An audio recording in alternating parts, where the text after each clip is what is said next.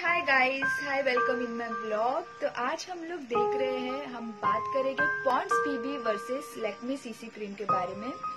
तो पूरा वीडियो देखिए, मेरा रिव्यू क्या है, ये दोनों क्रीम्स के बारे में। मैंने दोनों ही क्रीम यूज़ किया है काफ़ी टाइम से।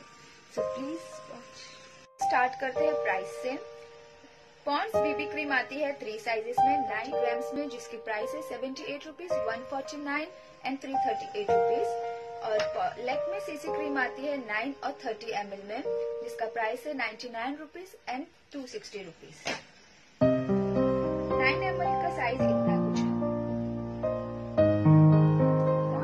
का भी लगभग सेम ही है।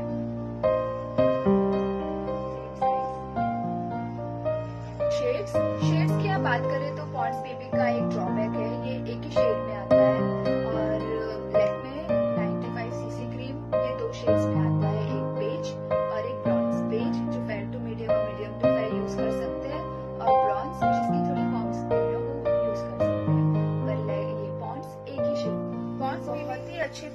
नोस्ट्रल जैसे उसमें आती है इसका टेक्सचर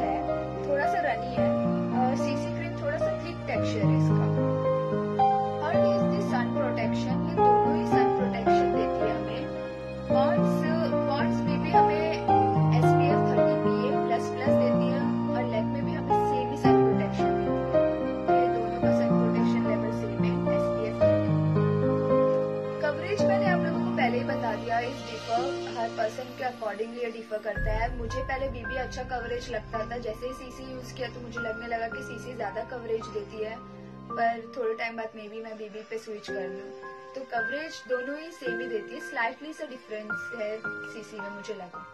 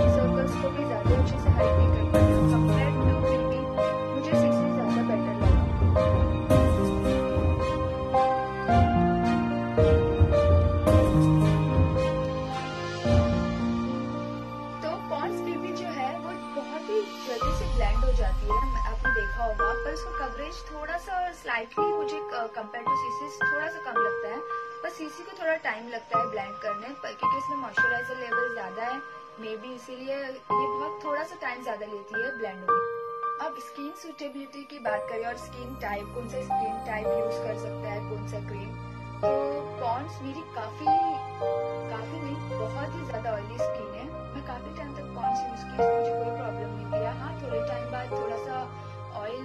सेक्शन पे दिखने लग जाता है, पर सीसी के साथ ऐसा कोई प्रॉब्लम अब तक तो नहीं हुआ है।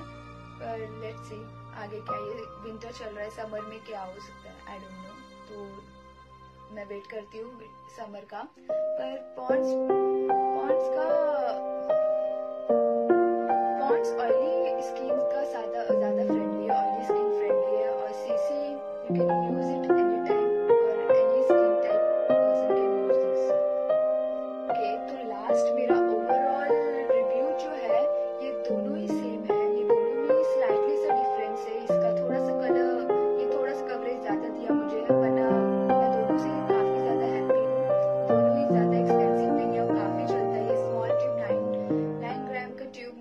चलता है। ट्वेंटी डेज़ ये चलता है। आपने देखा होगा, मैंने इतनी सी क्वांटिटी पूरे फेस पे लगा ली, ये इजीली ब्लेंड हो जाता है।